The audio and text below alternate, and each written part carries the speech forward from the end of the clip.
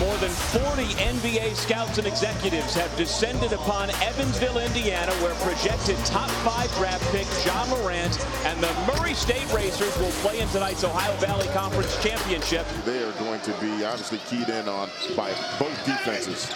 Morant goes one on three, banks it in. Here goes Morant for the tie. He's got it. Poked away by Morant. Can they get him the ball? Here goes number 12 for the layup. Belmont only 3 of 12 from beyond the arc. Make it 3 of 13.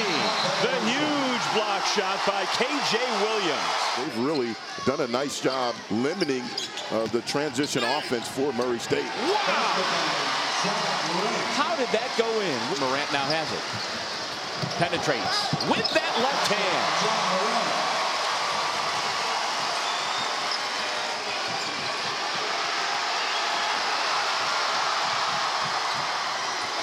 Morant for three. It's good!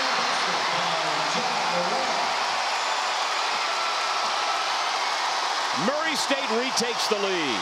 Down by four with a basketball. Murphy denied. Spectacular block shot by Ja Morant. He gets it back, attacks, uses the left hand again. He's going southpaw one more time.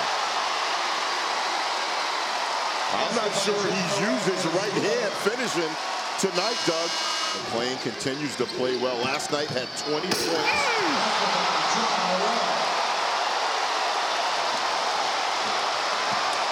With the flex coming back up court. Not going to have that drama tonight. Here goes Morant off the backboard.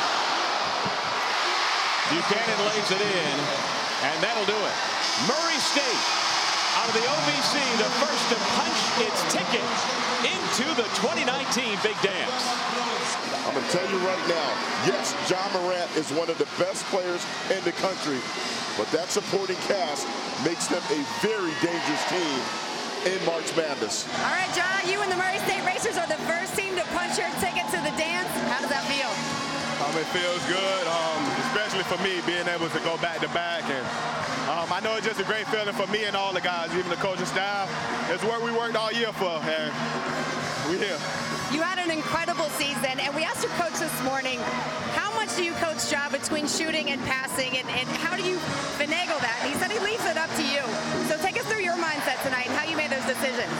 Um, coach has a lot of trust in me. I mean, any, that's what any point guard can ask for, just to let your coach play with a amount of freedom. But also, I have to be the one to um, try to make the right plays. Sometimes I force, um, I obviously have some turnovers, but um, he just coached me with then just tell me to be smart with the ball.